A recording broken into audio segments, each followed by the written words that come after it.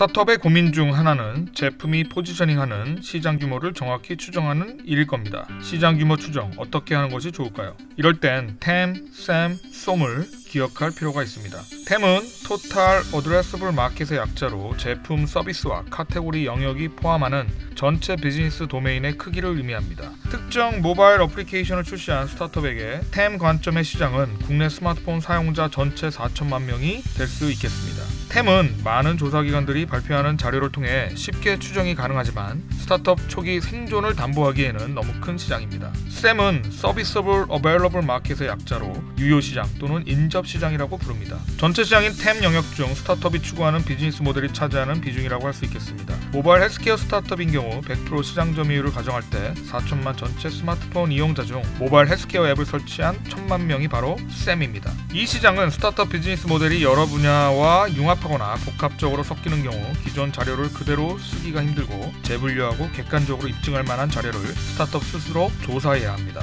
SOM은 Serviceable Obtainable Market의 약자입니다. 유효 시장인 SAM 내에서 초기 단계에서 스타트업이 확보 가능한 시장이며 스타트업의 초기 목표 시장이기도 합니다. 모바일 헬스케어 앱을 출시한 스타트업인 경우 20대 체형 관리와 다이어트에 민감한 여성 스마트폰 유저 100만 명이 아마도 SOM으로 규정할 수도 있을 겁니다.